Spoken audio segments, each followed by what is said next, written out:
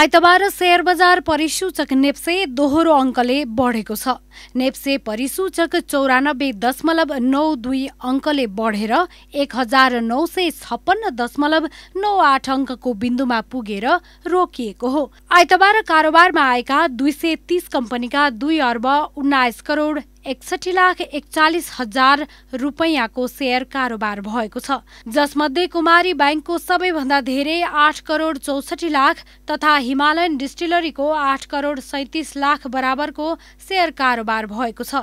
आइतबारको कारोबारमै दुई दर्जन बढी कम्पनीमा सकारात्मक सर्किट लागेको छ। कारोबारमा आएका सबै समूहगत उपसूचक बढेका छन् जसमध्ये लगानी उपसमूह सबैभन्दा धेरै आठ दशमलव आठ सात प्रतिशतले बढेको छ भने व्यापार उपसमूह सात दशमलव सात नौ प्रतिशतले बढेको छ। त्यस्तै हाइड्रो पावर र फाइनान्स उपसमूह पनि सात दशमलव सात प्रतिशतले बढेका छन्।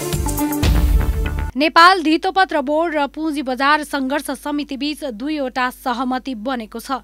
लगानीकर्ता तिलक कोइरालाको अनसनपछि गठन भएको समस्या समाधान कार्यान्वयन समितिको पहिलो बैठकले सेयर खरिद तथा बिक्रीमा ए ओन अर्थात् अल अर नट सम्बन्धी व्यवस्था हटाउने निर्णय गरेको हो।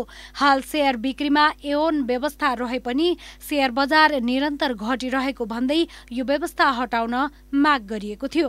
त्यस्तै उपत्यका बाहिर शाखा कार्यालय खोल्न पूर्वाधार तयार गरेर बसेका ब्रोकरहरूलाई तत्कालै शाखा खोल्न अनुमति दिने निर्णय पनि भएको छ भने आगामी साताबाट लगानीकर्ताले अघि सारेका उन्नाइस बुँदे मागलाई कार्यतालिका बनाए बनाएरै कार्यान्वयन गर्दै अघि बढ्ने समझदारी पनि बनेको छ।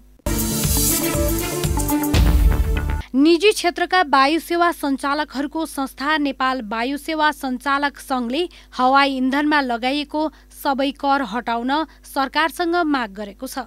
सङ्घले आइतबार विज्ञप्ति जारी गरी पेट्रोल डिजेल र मट्टीतेलमा कर घटाएर मूल्य घटाउने निर्णय गरिए पनि हवाई इन्धन भने यथावत राखिएको भन्दै यसप्रति असन्तुष्टि व्यक्त गरेका हुन्।